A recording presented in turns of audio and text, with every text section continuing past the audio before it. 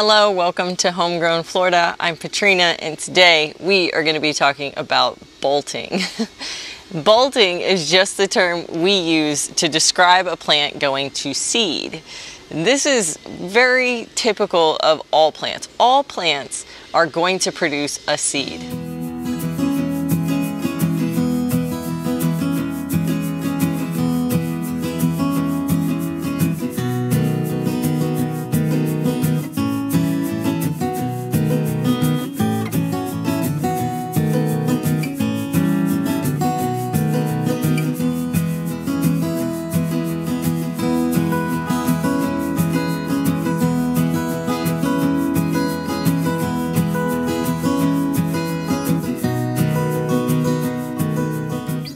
The seed cycle of a plant is their way of reproducing and all plants eventually want to reproduce. Even the ones that you don't think actually produce seeds, like let's say potatoes, they in fact actually do produce a seed, um, but that's not the typical way that we grow them. We grow them from a replication of the root or a lot of the times we think about fruit trees and how they're grafted.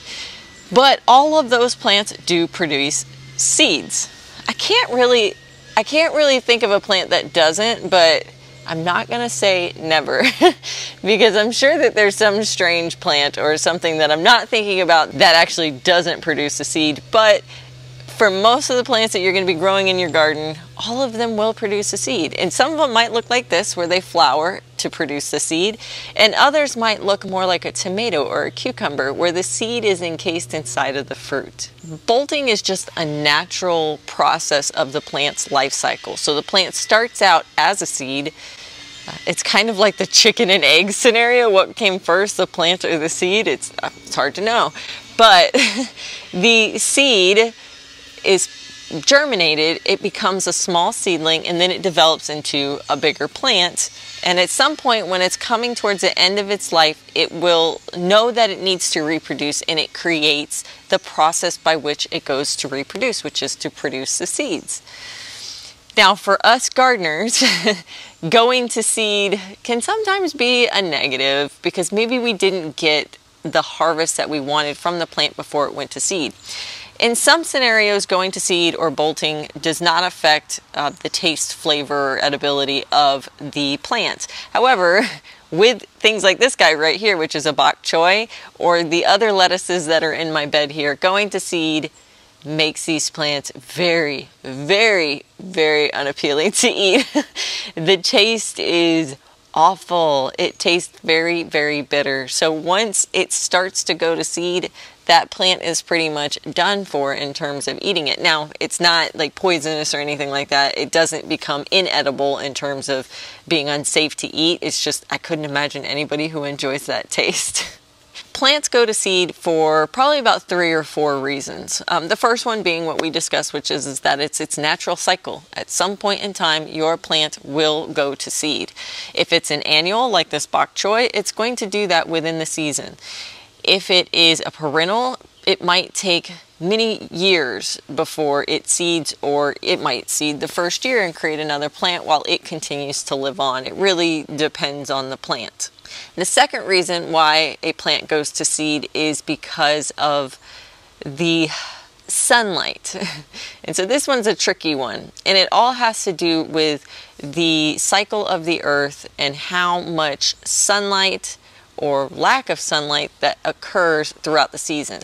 So sunlight is the way that the plants know that we're moving through seasons. Of course, temperature is as well.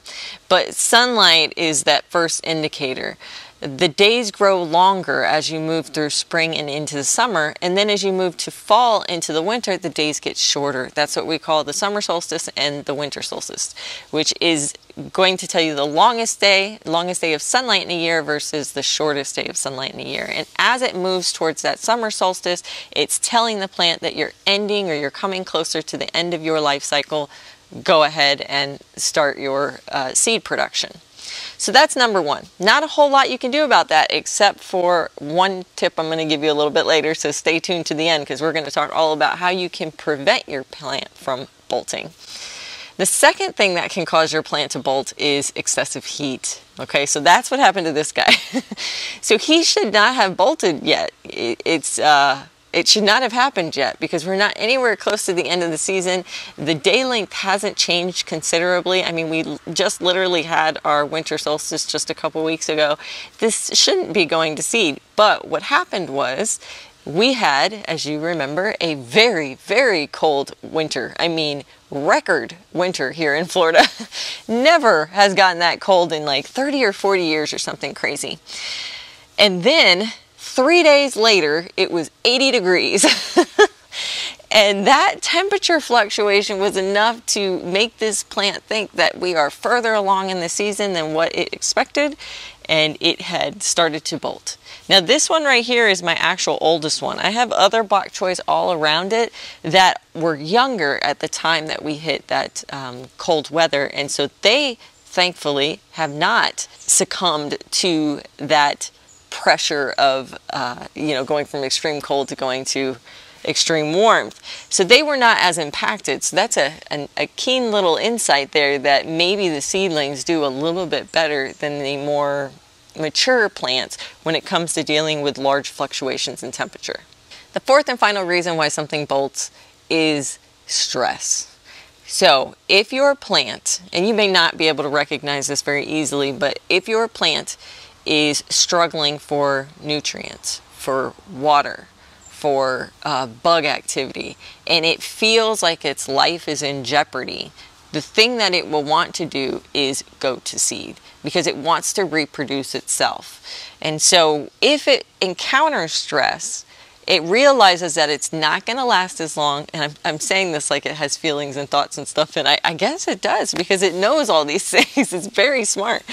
Um, it will go to seed very quickly. So if you see that you haven't had a lot of daylight fluctuation, if your plants all around it are doing the same thing and you haven't had a whole lot of like these crazy wacky temperatures, you might need to look at your watering schedule and your fertilizer to determine whether it's getting too much water, too little water, too less fertilizer, too much. I mean, it really, it could be anything. It's, it's really interesting. Um, but if you see that happening across multiple plants, it could be that the plant is stressed or that the several plants are stressed. So those are the typical reasons why your plant is going to seed. Now, going to seed is a process. The first step in the process is that your plant will start to lengthen and the stem in the center will begin to thicken. You can kind of see that here. This is a pretty extreme example. I let this go quite a bit because I wanted to show you guys, but in a, a less obvious example you can see here, I have a lettuce plant that is going to seed. Um, before it even has the flowers or the little pods on top, it is starting to get tall. You know, lettuce usually stays compact and close to the ground, but this guy is getting like tall and lengthy. Uh, that is your first clue that it's going to seed. And you can still harvest at this point. The, the greens are not very bitter. Um, if you want some tips, if it did get a little bit bitter and you just want to salvage the last of that harvest, I'll put up a video here on how I deal with bitter lettuce or bitter greens to take some of that bite out of it so that you can get that last harvest. But once you start seeing that lengthening or that height beginning to occur, you know you're not far down the process of bolting. The second indicator is, is that in the center of the plant, you will start to see what looks like a tiny little broccoli floret. And that's actually just the buds of the flower that's going to come out. It's the buds that show up first. Once again, the minute you see those, you know that you need to get whatever harvested that you possibly can because it is going to go to seed. You could cut that off and you know, try to delay a little bit. I've never had success with that. I don't know if anybody uh, has. If you have, head down in the comments, let me know. But I have never had success with cutting it. I have tried multiple times. All that happens is, is the, the, greens still get bitter. It still gets really uh, not tasty. And then these guys pop from different places on the stem. so once it's headed that direction, you really, you're down, a, you're down a path that you can't get back from. The next step in the bolting process is, is those little buds are going to actually break open and like these are going to create these little yellow flowers or it could be lots of different color flowers. Helpful hint here, if you don't have a lot of bees or pollinator activity in your yard and you want to attract them, leave these guys to flower and go nuts, and you will suddenly see tons of bees. They absolutely adore bolted plants. I don't know why, you know, whatever, it's cool, they love it. So I leave multiples in my yard for, for another reason, which is I'm going to save this seed. This plant did incredibly well. I mean, and this variety that I have has done very, very remarkable in our heat. So even though this one has bolted from that extreme temperature, uh, before that point, when we were dealing with high 80s every single day, this one was still growing and it still tasted really well. And unfortunately, I can't remember, I can't remember the variety of this bok choy, which is another reason why I'm saving the seed because since I can't remember it and I knew it grew really well, I'm going to let this go ahead and go to seed. I'm not going to disrupt it. I'm going to let it get tall, high, flower. Bees are going to come. It's going to be great. And then after it's done that process, it's going to create little pods and those will have seeds. And I'll collect those and those will be the ones that I grow next fall. Now let's talk about how to keep these guys from bolting. There are a couple ways that you can prevent plants from bolting. First and foremost, do not plant in the heat of summer. Uh, these greens really like colder weather. Now there are some greens that actually can grow in the heat, but they're few and far between. So for the most part, unless you have found a variety that is known for growing in our Florida summers, you definitely want to stick to cooler weather times. I usually like to grow my greens somewhere around, I start them in October and I will grow them all the way to April. May if I'm pushing a really heat tolerant variety. But if you stick to the cooler weather, typically, not this year, but typically you don't have these large fluctuations and it stays cool enough at night that the plants enjoy that particular temperature. Another reason to plant during that fall winter time frame is that the daylight is shorter. So like we talked about earlier with the winter solstice, this is the shortest number of hours of sunlight during the day. And so this helps the plant not bolt, is that you're leading into short day lengths versus long day lengths like in, like in spring and summer. This will also decrease its likelihood of bolting too early. A third trick that I use for growing my greens is I grow them in shade. These poor things are probably getting like almost no sunlight because I plant them during the shortest daylights of the year and then I also put them in a bed that only gets about, I don't know, this bed gets maybe three hours of sun a day, which is not a lot. But as you can see, they're doing fine. they absolutely do not mind all this shade. And when we get closer to that April-May time frame where I'm really pushing the zones there are pushing the time frames of the season, these are going to have the best likelihood of hanging on longer because they do get so much shade in this area. Now you don't want to necessarily do this with uh, very heat-loving varieties like tomatoes, cucumbers, squashes, watermelons, corn, beans. You don't want to do that with them. Before your leafy greens, this is an ideal spot. The fourth thing to make sure with your greens is that the soil is not compacted.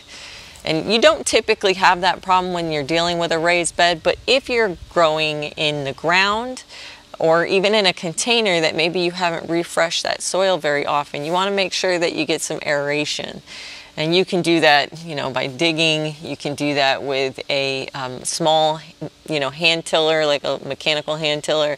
There's a lot of different ways. Um, I find that the easy way to keep the soil from getting compacted is just to add significant amounts of organic material.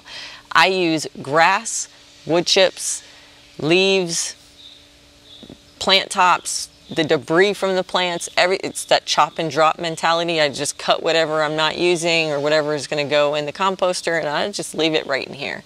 And that layer that it's creating is helping to create that aeration and it keeps it from getting compacted. Of course, do not walk in your beds. that will immediately lead to compaction and that is going to be a problem. The fifth way to keep your plants from bolting is consistent watering. So like we talked about earlier, stress can cause these guys to bolt. It thinks that their life is going to end soon and it bolts. So if we make sure that they are constantly getting watered upon a regular frequency, the plant begins to expect that frequency.